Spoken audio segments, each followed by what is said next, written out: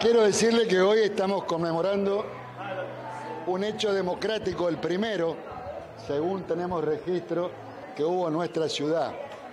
El 10 de noviembre de 1929, con gobiernos conservadores, un grupo de jóvenes que tenían entre 22 y 30 años, entre ellos estaba Juan Ramón Lestani, Luis Marpegán, Antonio Tahuada, Guido Miranda, impulsan la idea de conformar una escuela de artes y oficios. Y lo hacen a través de una asamblea popular que se hace en el Teatro Olimpo. Y deliberaron, durante tres meses los ciudadanos de Resistencia. Y les quiero recordar que Resistencia tenía un poquito más de 50.000 habitantes en aquel entonces. Había más terrenos baldíos que casas. Y deliberaron, decía, durante tres meses para la formación de este instituto.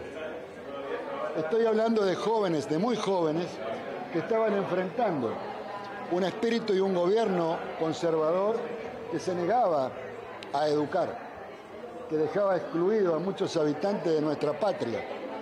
Y estos jóvenes, en cambio, muestran una señal de revolución, revolucionaria, que era crear una escuela de artes y oficios. Imagínense, ubíquense en el tiempo, lo que significaba esto.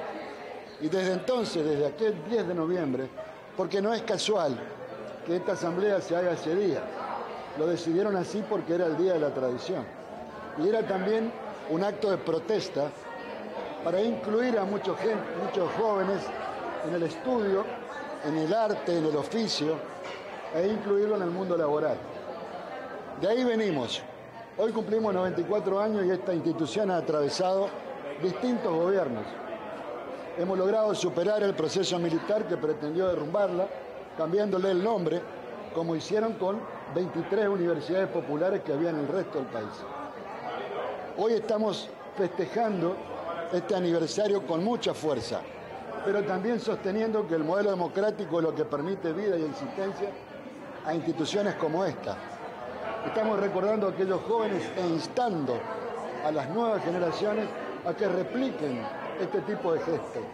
No es tarde, estamos a tiempo de recuperar este tipo de actividad, de crear escuelas, como lo hemos venido haciendo. La Universidad Popular hoy cuenta con un jardín de infantes, una escuela primaria y hoy ha inaugurado este año una escuela secundaria. Tenemos un instituto superior donde enseñamos ocho carreras y en el área de oficio tenemos 120 capacitaciones en cursos peluquería, comestología, electricidad, carpintería. Y estamos haciendo con ello un honor y un homenaje a aquellos pioneros que fundaron esta institución. Queremos agradecer a todos, a todos los ciudadanos que han creído en esta gesta y los instamos nuevamente a que sigamos acompañándonos en los procesos educativos porque ese es el camino para cambiar el destino de nuestros jóvenes e incluir a los no tan jóvenes en el mundo del trabajo. El cambio, transición de, de gobierno, ¿cómo los agarra también este posible cambio de gobierno que habría en la provincia? Bueno, nos agarra con la expectativa que le agarra a todos los ciudadanos. Nosotros creemos que este cambio de gobierno va a permitir hoy que participemos todos de las preocupaciones que van a tener quienes gobiernan esta provincia. Los vamos a acompañar.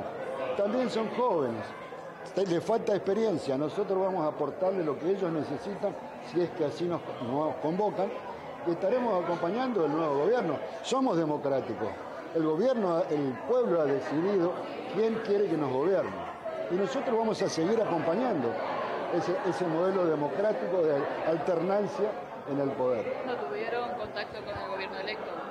Bueno, lo iremos a saludar, haremos el saludo protocolar que corresponde y bueno, nos pondremos a su disposición.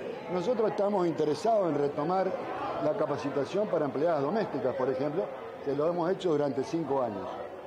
y eso le queremos proponer. ¿Cuántos alumnos cuenta, bueno, en todos los ámbitos, la Universidad Popular, bueno, ha crecido mucho en todos estos tiempos, ¿cuántos alumnos total del, nivel inicial, ¿no es cierto?